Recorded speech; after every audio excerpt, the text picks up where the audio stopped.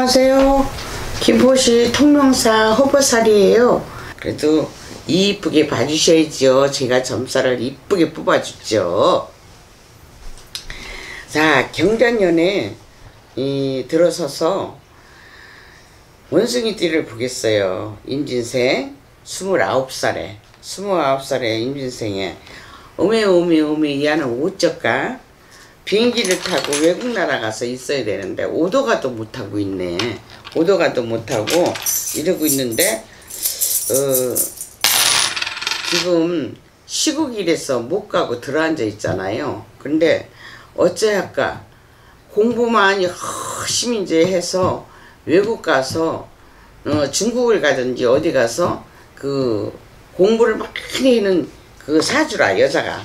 그래갖고 예 박사하겠다는 거 있잖아요.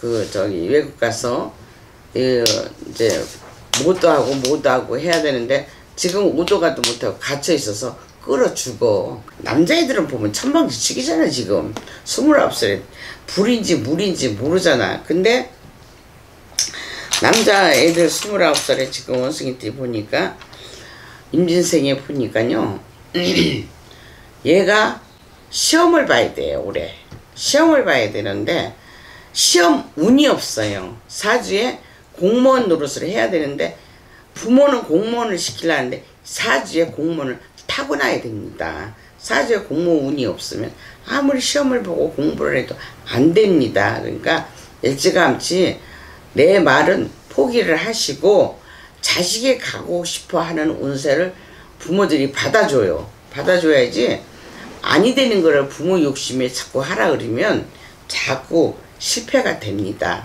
그러면 29살이 33살까지 가요. 왜? 그거에 찌들어요. 찌들어. 그러니까 이 기왕에 오셔서 이렇게 보시니까 아들이 안 되는 거는 일찌감치 포기하시라 그러니까 8월 달에도 또 한 번 시험 기한이 있는데 그때도 힘들다고 나와요. 낙심하지 마시고 나이가 어리니까 좋은 일이 많잖아요. 그러니까 앞으로 희망 갖고 더 움직이시면 괜찮다 그렇게 나와요. 41살의 원숭이띠죠? 41살의 원숭이띠 이 여자 놓고 보면 대운이 들었는데 공무원 사주를 보는데 공무원이에요. 선생을 하든 뭘 하든 근데 시집을 안 간 여자도 있어요. 이 선생 노릇 하다 보면 자기 자리를 잡다 보면은 그 나이가 먹도록 결혼을 못할 나이도 있잖아요. 근데 8월에 가슴을 치고 울라, 울 일이 생기니까 잘 판단을 하라 그래요. 이 여자분 말이에요.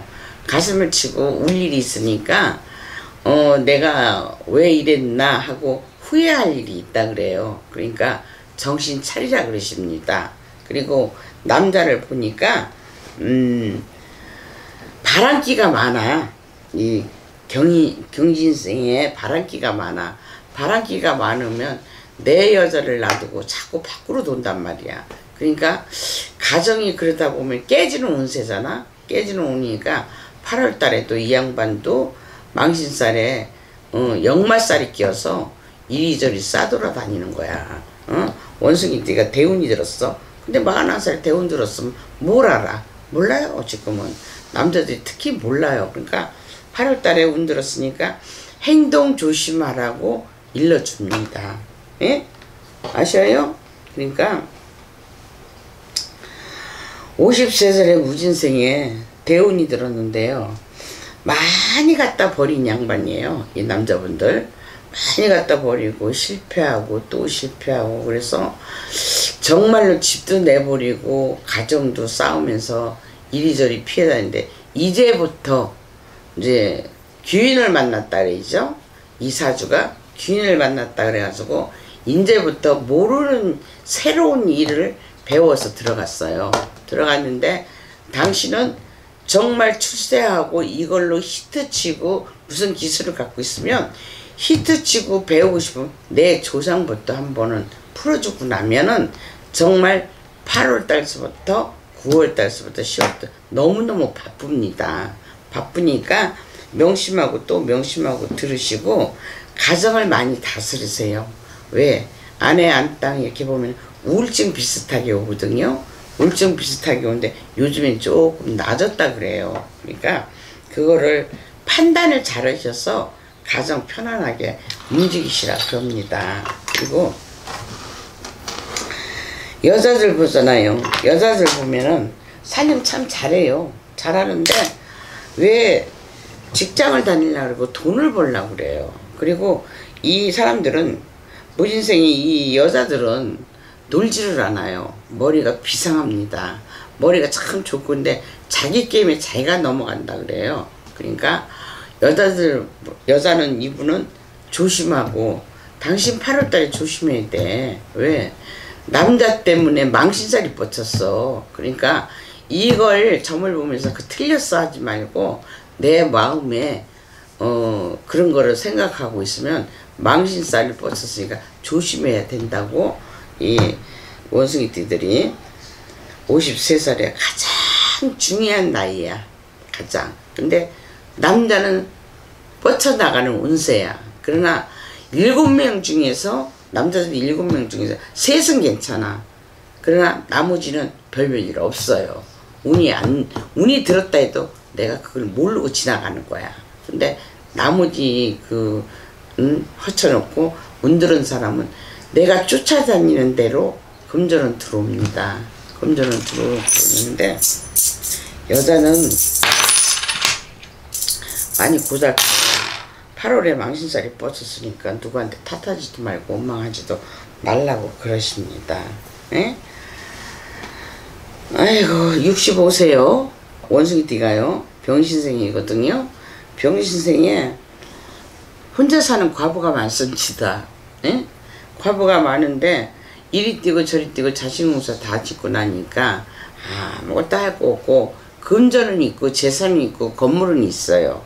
건물은 있는데 내가 허덕이리고 끝까지 벌어야 돼요. 이 사주가 어 65세 이 병신생은 올해부터는 좀 낫어요.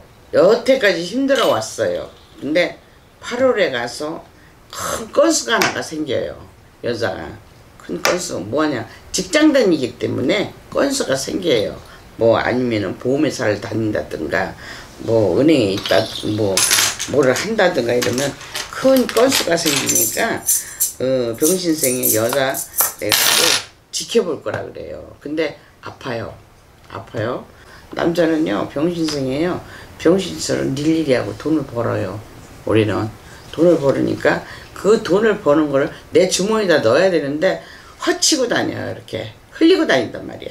그러니까 오늘 100만 원 보면 내일 200만 원 버는 줄 알고 이렇게 흘리고 다녀요. 그리고 이 사람은 가정을 가지려면 바람을 피지 말아야 되는데 바람을 많이 펴요. 그러니까 그 바람기를 재워주세요. 재워주고 나면 8월부터는 이 돈이 좀 들어오는 운세예요. 운세인데 돈이 대운 들어서 돈이 들어오는 거를 간수를 잘해야 돼.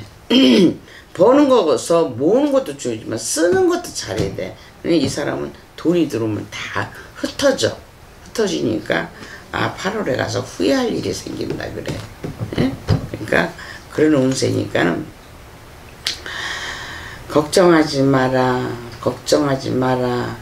어, 병신생에 돈을 벌어줄 텐데 왜 이러고 헤매고 있느냐 하고 걱정하지 마라 걱정하지 마라 내가 점을 보는 견제는 그렇게 나오는데 이 사람인지라 그거를 해결을 못하고 깨우치지를 못해요